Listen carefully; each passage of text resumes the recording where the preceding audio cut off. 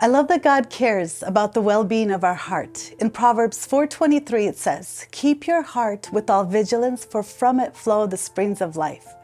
Relationships profoundly affect the well being of our heart, and it is our responsibility to keep watch of the influence it has on us.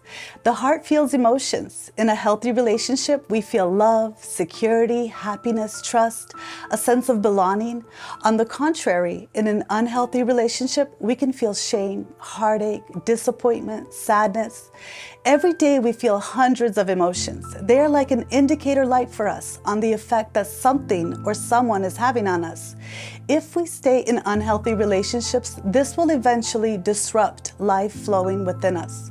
The word vigilance in the scripture means the action or state of keeping careful watch for possible danger or destruction. Despite the harmful impact on our hearts certain relationships bring, why do we stay in these types of relationships? Well, most of the time, when it comes to relationships, we cling to what we know and what's familiar. We will take a bad relationship over loneliness or missing out. We would rather stick it out and hope the person changes.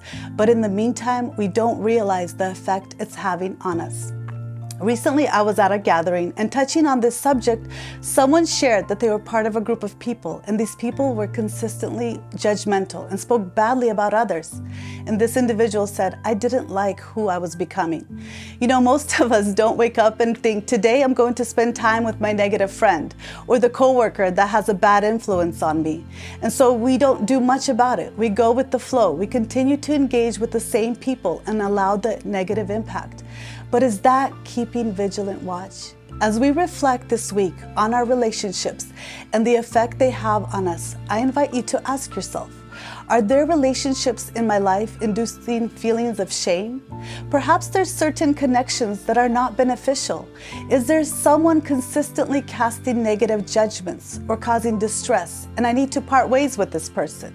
What about situations where someone's actions had inflicted just deep hurt? Giving rise to unforgiveness in me. God desires the springs of life to flow from our hearts. You know, what truly excites me that these life-giving springs aren't just for our own benefit. They're meant to bless others. By diligently watching over our own hearts, we can become a source of positive impact to others if we watch ourselves.